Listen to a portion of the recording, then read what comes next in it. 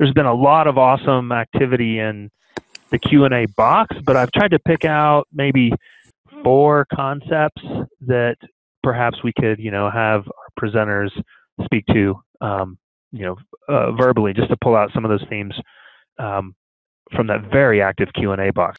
Okay, so um, I'll sort of work backwards. Um, Carl, you you mentioned um, psychological resources.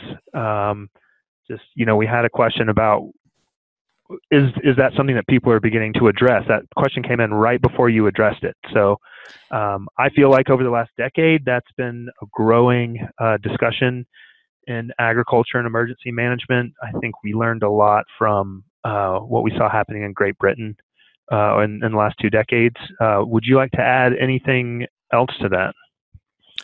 Well, the only other, the only other thing that I'll add is we had a lot of discussions about dealing with stress, and and a lot of it stemmed around. Uh, we know that this is an issue, and it's a major, major, major issue. And the conversation we had was, how do you frame it? Because if you frame this as something like, all right, we're going to get a bunch of, of rugged ranchers together and we're going to talk about how we feel, okay, I see some of you laughing, but that's the reality of the scenario. We know it's an issue. What we really need to do is is determine how do we package that into our programs and into our efforts because it's vital that it's there, but but it's not the the headline. All right, thank you. I'll just add one thing there, and I wish I had been able to write down the reference. I was uh, actually listening to a radio interview with a researcher from, I believe, UConn yesterday uh, on my way uh, to the western side of the state, but talked about the fact that most people have two or three people, whether it's a spouse or somebody else that they will confide in, they consider their best friend, but when you survey people and they are asked who's the last person you talked about about the most stressful thing in your life? they will name somebody outside of that because they're fearful of judgment or they don't want to be seen as a failure. It's the same reason most people they said will spill their guts to a stranger on an airplane but wouldn't think of telling their wife the same thing. And so realize that when we're dealing with agricultural producers I've seen the same thing in my own work where farmers will share things with farmers from several counties away that they happen to meet at a conference or something that they would never share with their peers that are in their county or within their circle of influence. So it is something that I don't think has ever been studied in the agricultural community, but it does have some interesting insights. there's some work going on out of Colorado State that um, they're trying to look at how people recover uh, following one of these disasters. I think it'll be very interesting. They've done it in the past with Katrina, and they started working on it with Harvey, and they decided to go in and look at the impact on the farmers and ranchers, which they'd really not ever done that before. So it's going to be interesting to see what kind of information they can generate out of those to give us a better idea on what some of this actually looks like a stress level and why people continue to go back to the same areas where disasters occur and continue to try to survive in those environments or what allows them to do that. All right, thanks, thanks, guys. I want to maybe knock out two more of these uh, subjects before we burn out of time. Um, Kevin um, and Ron, I might pitch this one to you first, but but Carl, you're welcome to chime in. Um, I'm just going to. Someone had a general question about the role of social media in disasters and emergency management. Um, so maybe Ron, you can speak very recently, like how that might have played a role, and Kevin, I think you have some other comments and just like broad best practices for social media and disaster. Uh, during Harvey, social media was a blessing and a huge curse uh, because of the uh, ability to get information out quickly, it, it, helped. But some of the information, of course, you know, stays forever, even though it's outdated. So some way to to manage that and pull that down, uh, we will continue to try to get resources rerouted somewhere. But somebody would be looking at an old post and trying to send something where it wasn't needed. So it wound up being a a detriment to some extent from from our management of the livestock supply points.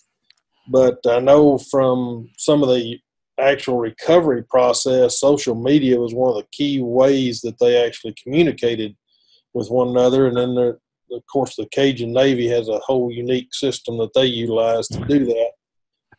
kind of got uh, involved as well. But from our standpoint, it, it, allowed us to communicate sometime in areas where we probably did not have hardwired communications into those. Uh, and was a good access of information. So it, you got to weigh the pros and cons of it. Yep, and I did type a few best practices into the uh, chat box earlier, but I think one of the key things that we found with some of these incidences is that things get retweeted, they get forwarded. You need to, within the middle of your message, actually put the date that that message was so people know if this is current information or if it's outdated. If you put it at the very end, people lop it off because they think that, well, they won't need to know that. I prefer actually inserting it somewhere in the middle. This make a statement this is current as of Monday, January 18th or whatever, and then continue on with your statement. Thanks, Kevin. Um, Carl, did you have any thoughts on that? It's, you know, I, I think yeah. they covered it pretty well. Um, but but at the end of the day, it comes back down to, to how are people communicating.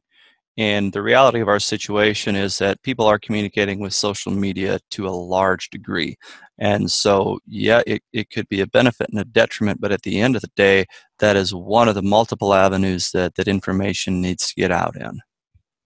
Okay, thank you. Um, gosh, two other subjects I'm torn. I'm going to go ahead and put out um, evacuation and shelter because folks seem to be kind of interested in that and had some um, some questions. So um, we have a veterinarian here that works for Extension in Montana, and she's very well versed on evacuation and setting up shelters both for companion animals and livestock, and um, what can happen in these mass natural disasters uh, that are you know across urban areas, suburban, rural, ag, etc. Um, obviously, I think there's something like, um, well, p- obviously, people are going to want to take their pets with them, and there's two and a half or three pets per household per capita, or you know, in the United States. So, um, since Katrina and uh, what is called the the Pets Act, um, humans should be able to evacuate or co-evacuate with their pet, but not necessarily be co-sheltered. So um, at any rate, things are put in place to uh, try and facilitate that. And um, on the pet side of things, companion animals, folks aren't necessarily sheltered with their pets. Um, the livestock side can be quite complicated, and we have so many different systems across the country. In Montana, uh, we might just start driving cattle across the, the landscape. Um, in other parts of our state or other parts of the country, it might be livestock trailer based. Um, evacuation uh, from livestock facilities. Um, I will mention that the importance of planning at the community level um, can relate to this because there have been wildfires and other natural disasters where people want to self deploy to help and they're clogging up the roads with small horse trailers and small cattle trailers trying to go help somebody but the human evacuation isn't completed yet and it just causes a traffic snarl or they get to the end and there's nowhere to turn around or back a trailer properly. So this will also speak to comments that came up in the chat about the value of proactive planning, and I'll say at the community level. Um, any other comments on uh, evacuation and sheltering pitfalls or sage wisdom? Well, uh, you know, the Harvey response was to not evacuate Houston, which a lot of people questioned, but in the previous flooding, they actually had more deaths occur because of the people that were stranded on the roadways in their cars and were drowned in their cars.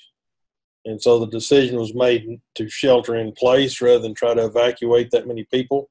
I think it kind of goes to some of the same things we run into with with animals. Uh, you have to make a decision whether or not you're going to evacuate the person or livestock or both. And unfortunately, some of them get left behind, which you'd hope there'd be a better plan than that. But um, it, it is a tough decision on when to try to evacuate and where to move them and where are you going to find access to grazing land because even in your situation where you move livestock across the landscape, you're then destroying somebody else's grazing or taking it up. Um, so it, it's not an easy decision on whether to evacuate or even where to take animals. Mm-hmm. Um, and related once again to livestock, um, a lot of people, communities might assume that the fairgrounds is the ideal shelter area, or at least the starting point. Um, there may or may not be provisions in place to deal with it at the fairgrounds. And in some cases, and I apologize for continually speaking to the wildfire scenario, um, uh, Forest Service and other emergency response agencies may have wanted the fairgrounds for their own uh, operations center. And so it can be crowded with hotshot teams and fire teams and helipads and whatnot, and not necessarily ideal for bringing in livestock. Um, so this is once again why um, community level planning is so important. And I'll maybe start to wrap up with mentioning that a lot of our large operations, um, you know, need to have robust internal response plans, but then they also have to cooperate with that community and uh, understand where an operation like that might have resources and assets to help the community and when they're going to have to ask um, for their own help and the resources and assets will flow the other way. Um, so planning and thinking about these things ahead of time, uh, I think really should be our, our concluding concluding sort of piece of wisdom here.